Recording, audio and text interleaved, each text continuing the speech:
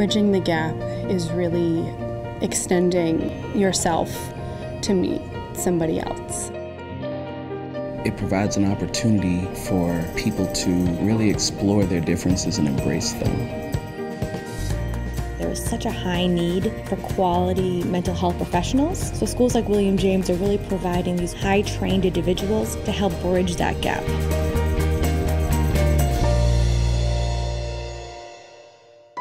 Providing culturally competent care goes far beyond just being able to speak the language. Everyone deserves to be understood and to have their culture considered in an in depth way and have their therapist locate them in their culture. William James has this great Latino mental health program that is really unique, and there's not really anything like it in the country. Veterans are one of those unique populations we had a lot of people who were really suffering from mental health issues in my command, and I wasn't happy with the way they were being treated. So I figured the only way to really address this issue was to actually become part of the system and work from the inside out. William James College helps meet that need by offering programs such as the Military Veteran Psychology Program. They have their Train Vets to Treat Vets program.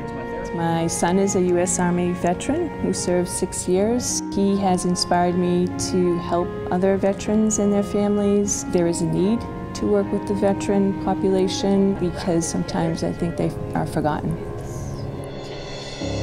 I was working with a young person dealing with identity issues with sexual orientation. He didn't have very many people to share with, and he was a young man of color. He was from a different country where it wasn't accepted. When our, program ended, he, he ended up taking his own life, and um, he didn't have that support. So I think about the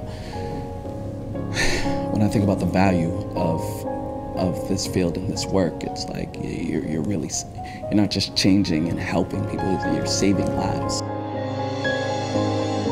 William James is providing me with the, the tools for effective leadership.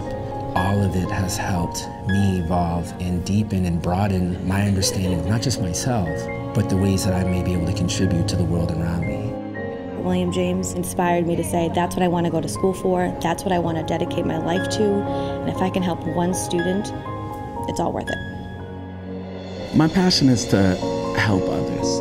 William James has just given me an avenue to do that. The reward that you get from meeting such amazing people and hearing their stories is just so great.